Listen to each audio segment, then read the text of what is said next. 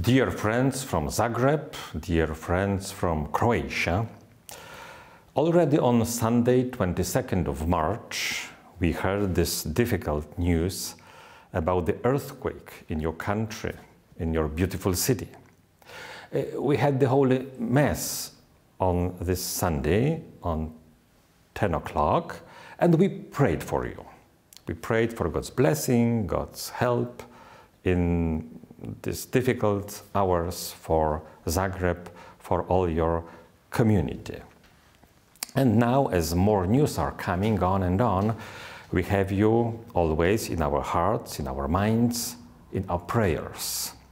We remember first coronavirus came also to you, then the earthquake, and now the winter is back with snow and frost and cold uh, weather, let us recall a very beautiful and moving moment 22 years ago.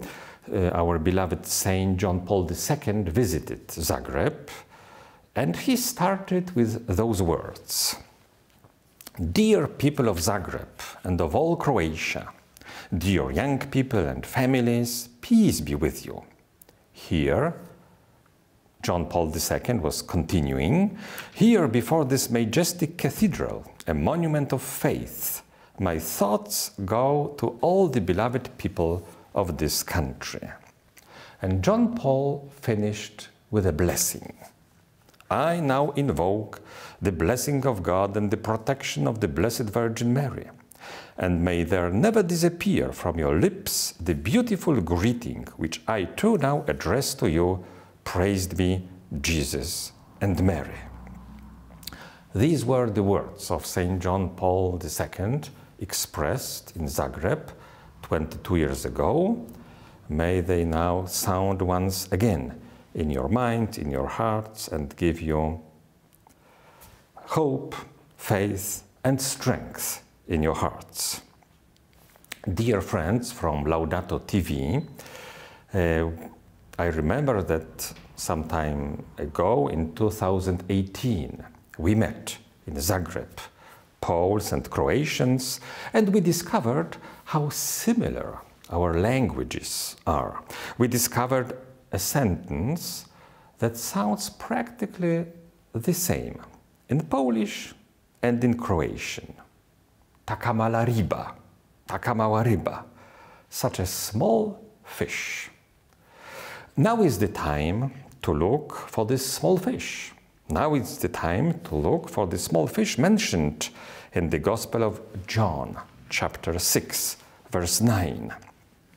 We read there Andrew said to Jesus, There is a boy here who has five loaves and two fish. But what good are these for so many? A small fish, takamala riba.